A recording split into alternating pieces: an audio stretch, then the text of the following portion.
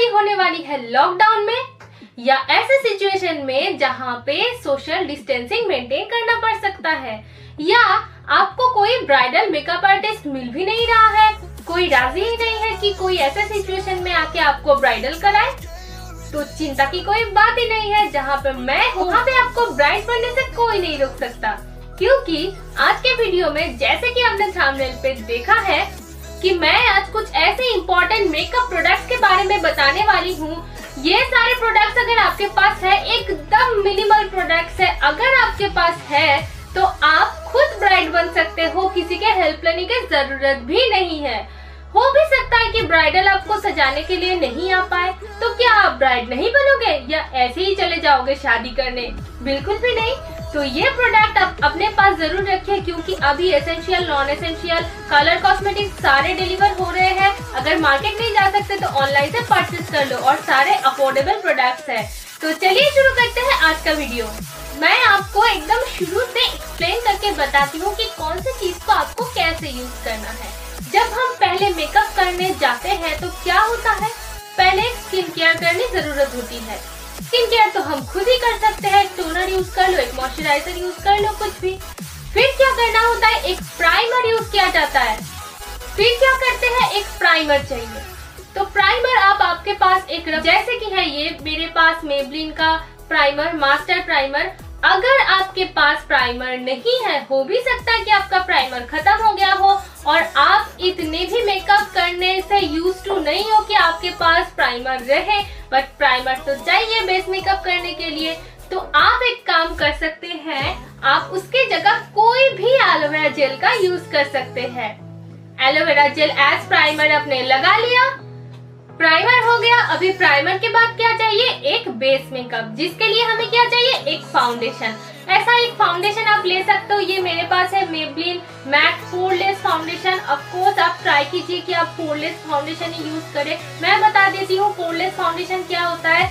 ये फाउंडेशन वो वाला फाउंडेशन होता है जो आपके फेस पे अप्लाई करने के बाद ऐसा इफ़ेक्ट होता है कि आपके जो पोर्स होते हैं ना फेस के वो मिनिमाइज हो जाते हैं बहुत हद तक कम्प्लीटली नहीं होते हैं बट बहुत हद तक होते हैं। तो एक मैट पोरलेस फाउंडेशन आप यूज़ कीजिए, क्योंकि समर टाइम चल रहा है तो ज़रूर आप मैट मेकअप ही यूज़ कीजिए। तो कोई भी ब्रांड का आप फाउंडेशन यूज़ कर सकते हैं। मैट फाउंडेशन लीजिए और आपके कम्प्लेक्शन के हिसाब से लीजिए। फाउंडेशन के बाद बारी आती है कॉम्पैक्ट पाउडर की। मतलब सारे जो मैंने मेकअप किया अभी प्राइमर फाउंडेशन सबको सेट तो करना है ना? सेटिंग के लिए हमें क्या चाहिए? पाउडर आइदर कॉम्पैक्ट पाउडर और लूज पाउडर तो इसके लिए आप कोई भी पाउडर यूज़ कर सकते हो। वैसे वो पॉन्ड्स वाला टेलकम पाउडर मत यूज़ करना, क्योंकि वो फेस में नहीं लगाना चाहिए। उससे मेकअप सेट भी नहीं होगा। तो उसके लिए आप एक काम कर सकते हो व्हाइट टोन पाउडर यूज़ कर सकते हो, जो मैं रेगुलरली यूज़ करती हूँ, वो एक फेस पाउडर है। आप ऐसे कोई कॉम्पैक्ट पाउडर यूज़ कर सकते हो, मेरे पास मेबलिन का पोरलेस है try to use poreless powder अगर फिर भी नहीं है तो आप लैक्मी का पाउडर यूज़ कर सकते हो। ये सब बहुत ही अफोर्डेबल प्रोडक्ट्स है और ये तो लूज पाउडर है और इसका रेंज भी बहुत ही कम है। वन फिफ्टी रुपीज़ है इसका प्राइस और ये थोड़ा सा ज़्यादा है फोर हंड्रेड के ऊपर होगा, ये ऑफ़र प्राइस में तो मिल ही जाएगा। तो आप कॉम्पैक्ट पाउडर या लूज पाउडर यूज़ कर सकते हो और ये अपने पास रखना भी ज़रूरत है। अभी दिखाना है फेस को शार्प और नोज़ को शार्प तो उसके लिए क्या होगा? तो उसके लिए क्या करना पड़ेगा? उसके लिए हमें कंट्रोल करना पड़ेगा और हाईलाइटिंग तो इसके लिए आपको क्या चाहिए? एक कंटोर चाहिए कंट्रोल पैलेट या कंट्रोल स्टिक कंटोर पैन के कुछ भी। और हाईलाइटर चाहिए, और कंसीलर चाहिए। तो कंसीलर के बारे में मैं पहले बोल दूँ कंसीलर अगर आपके पास नहीं है, अगर आप मेकअप से यूज़ टू नहीं है तो ये तो नॉर्मल है कि आपके पास कंसीलर होगा भी नहीं। तो आप क्या करेंगे, आपने जो फाउंडेशन यूज़ किया है, उसी का सेकेंड लेयर थर्ड लेयर आप फेस पे अप्लाई करें, जहाँ पे आपको डार्क सर्कल छुपाना है या कोई स्पॉट छुपाना है अब वो अप्लाई कर सकते हो सेकेंड कोट देके।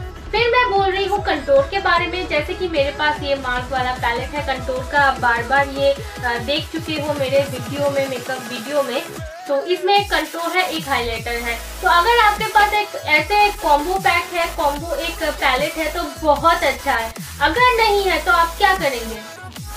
जनरली ये सब पैलेट का रेंज थोड़ा सा ज़्यादा होता है। अगर आप ये नहीं खरीदना चाहते हैं तो छोड़ दीजिए, नहीं खरीदना पड़ेगा। आप इसका भी एक ऑल्टरनेटिव वे निकाल सकते हो। कैसे? अगर आपके पास एक अच्छा सा आई शेडो पैलेट है, ऐसा नहीं कि बहुत कॉस्टली ऐसा होना चाहिए कि उसमें सारे कलर्स अवेलेबल हो। नॉर्मली जो जो कलर हमें चाहिए। तो उनमें से ही आप ब्राउन वाला शेड यूज़ कर सकते हो और हाईलाइटिंग के लिए जो सिल्वर और गोल्डन ग्लिटर वाला शेड होता है, वो आप यूज़ कर सकते हो। ब्राउन वाला शेड आप यहाँ पे कंटूर कर सकते हो नोज़ कंटूर कर सकते हो। और हाइलाइटर के लिए आप जो सिल्वर या गोल्डन ग्लिटर वाला शेड है, उसको आप चिक बोन्स पे कर सकते हो ब्रो बोन्स पे कर सकते हो नोज़ के ऊपर लिप के ऊपर, यहाँ पे कर सकते हो। और जॉ लाइन्स पे भी वो कंटोर के लिए ब्राउन वाला शेड अप्लाई कर सकते हो। तो ऐसे आप मेकअप कर सकते हो अपने आई पैलेट को यूज़ करके। तो अभी बारी आती है फेस तो कंप्लीट हो गया, अभी बारी आती है आईज की। तो आईज के लिए आपको एक ऐसा आई शेडो पैलेट चाहिए, जिनमें की बहुत सारा ब्राइट कलर्स अवेलेबल हो। क्योंकि मैं मेरे नए वाले जो आई शेडो पैलेट है, वो आपको ऑलरेडी दिखा चुकी हूँ जैकलिन का। जैकलिन मॉर्फी जैकलिन का जो मैंने रिसेंटली लिया है फ्लिपकार्ट से ये वाला। तो ये ड्यूब पैलेट है। तो आप ड्यूब पैलेट ले सकते हो और इसमें सारे कलर्स अवेलेबल है और बहुत सारे शेड्स में भी अवेलेबल है। Specially red glittery shade yellow blue pink ये सब शेड अवेलेबल होना चाहिए एक ब्राइड के लिए। तो अगर आपके पास ऐसे शेड वाला एक पैलेट है तो बहुत ही अच्छा है, आप उससे आई शेडो बना सकते हो और अपने कंट्रोल और हाईलाइटिंग का भी काम कर सकते हो। अभी बाकी रहता है काजल आईलाइनर और मस्कारा तो काजल आईलाइनर एंड मास्कारा ये तीनों प्रोडक्ट के कोई ऑल्टरनेटिव नहीं होते हैं। इन तीनों को तो आपको परचेस करना ही पड़ेगा। बट मिनिमम जो लोग मेकअप करते हैं तो ये तीनों चीज़ें सबके पास होती है, सबके पास होती है। तो आप आफ्टर आई शेडो तो आप ये तीनों प्रोडक्ट्स को यूज़ कर सकते हैं। अच्छे से विंग्स बनाए आईलाइनर से आईलाइनर पेन हो लिक्विड हो ब्रश वाला हो ब्रिसल्स वाला हो, कुछ भी। और काजल तो आपको पहनना आता ही है। लोअर लैश लाइन में आप पहनिए अपर लैश लाइन में पहनिए। अगर आपके पास वेरियस कलर्स के आई अवेलेबल है स्पेशली व्हाइट तो आप उससे हाईलाइटिंग भी कर सकते हो। व्हाइट है तो बार्बी वाला आईज भी बना सकते हो। अगर अगर आपके पास ग्लिटर वाला है तो और भी अच्छा होगा। ब्राइडल लुक में तो आ जाएगा। और उसके बाद क्या करना है? एक मास्कारा अप्लाई करनी है। ऐसी मास्कारा अप्लाई करनी है जिसमें वॉल्यूम ज़्यादा दिखती हो। तो यहाँ पे खत्म होता है आपका total makeup look for a bridal तो हो गया आपका ब्राइडल मेकअप लुक बट एक चीज़ छूट गया ना। ब्राइडल बनने जा रहे हो। क्या छूटा है बोलो तो? पॉज करके वीडियो को कमेंट सेक्शन में बताओ कि क्या छूट गया है। मैंने क्या नहीं बताया, जो बताना चाहिए था। बिंदी छूट गया है ना? आपको एक बिंदी भी चाहिए। तो कंप्लीट हो गया आपका bridal makeup look without any makeup artist तो आई होप कि आप खुद से अपना ब्राइडल लुक कर सकते हो अगर आपको कोई ब्राइडल मेकअप आर्टिस्ट नहीं मिल रहे हैं और अगर आपको सोशल डिस्टेंसिंग मेंटेन करके शादी करना पड़ रहा है तो ज़रूर इस वीडियो को देखें और मेरे हिसाब से ऐसे कुछ प्रोडक्ट लेके अपने ब्राइडल मेकअप को कंप्लीट करें तो मज़ा ही आ जाएगा। तो खत्म करते हैं आज का वीडियो, मिलते हैं नेक्स्ट वीडियो में, तब तक के लिए वेरी गुड बाय